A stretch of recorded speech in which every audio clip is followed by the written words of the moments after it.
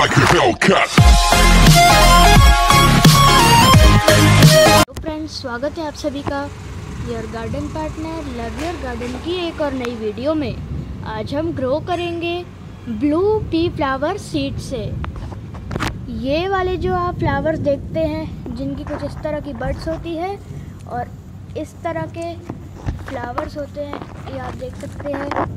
ये वाला जो फ्लावर है, ये ब्लू पी फ्लावर्स की वाइट वाली वैरायटी है। इसमें इसकी जगह ब्लू वाली वैरायटी भी आती है, आपने इसको देखा होगा। इसको सीड से ग्रो करना बहुत ज़्यादा इजी है। तो इसकी जो सीड्स होते हैं, वो आपको मार्केट से ख़रीदने की ज़रूरत नहीं है।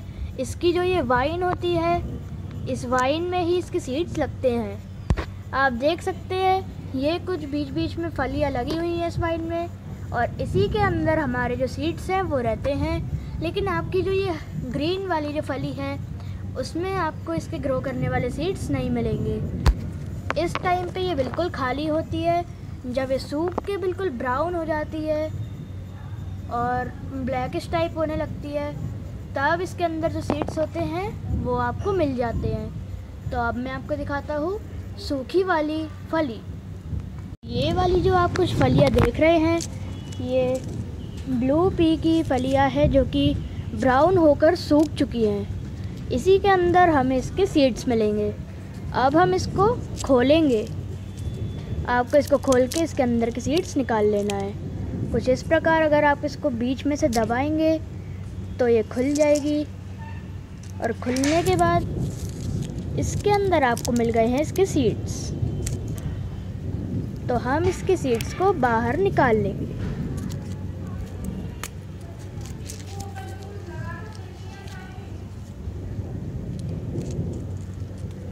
तो ये जो आप देख रहे हैं, ये हैं ब्लू पी के सीड्स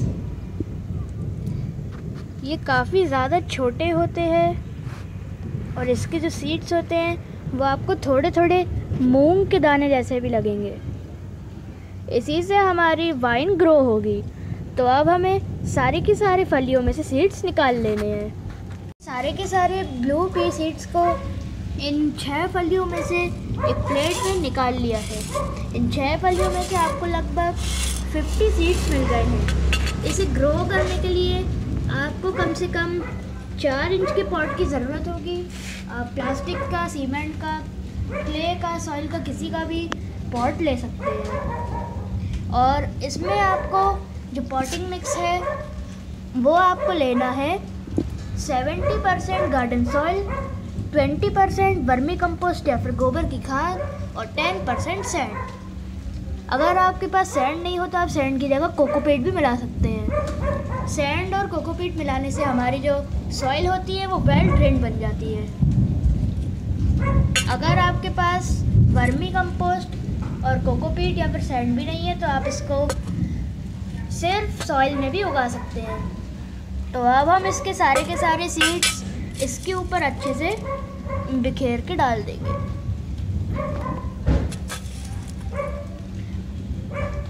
हमें सारे के सारे सीड्स को दूर दूर डालना है, पास पास नहीं डालना है। ये मैंने ब्लू और वाइट वाली वैरायटी दोनों के ही सीड्स एक साथ एक ही पॉट में डाल दिए हैं, जिससे मुझे एक ही पॉट में दोनों तरह के फ्लावर्स के मिल लगे। तो हमने अपने सारे के सारे सीड्स को इसमें डाल दिया है। आप देख सकते हैं, हमने अपने सारे के सारे सीड्स को इसमें डाल दिया है। कम रोशनी की वजह से अगर आपको दिख नहीं रहा हो तो रुको, मैं अभी फ्लैश लाइट ऑन करता हूँ। तो अब आपको इसमें अपने सीड्स दिखाई दे रहे होंगे। जो सीड्स पास पास हैं, उन्हें हमें अपनी फिंगर से या फिर किसी टूल से दूर दूर करना है। और अब हम इसमें ऊपर से अपना ही, यही वाला पॉटिंग मिक्स डालेंगे।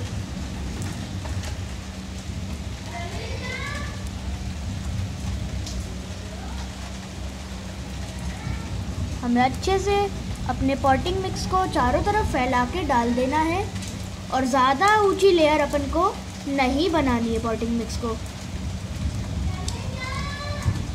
और हमें अपने सीड्स को बहुत गहरा भी नहीं लगाना है, नहीं तो हमारे जो सीड्स हैं, उनको जर्मिनेट होने में बहुत ज़्यादा टाइम लगेगा।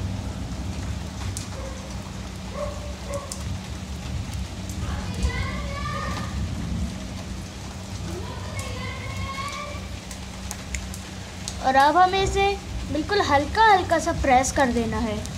और प्रेस करने के बाद हम इसमें वाटर को स्प्रे करेंगे।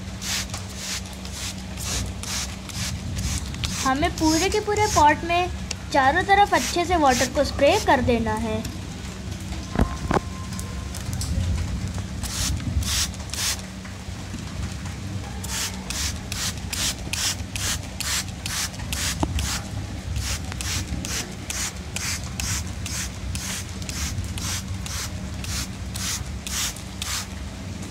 हमें इसके लिए अपनी जो सॉइल है, उसको अच्छे से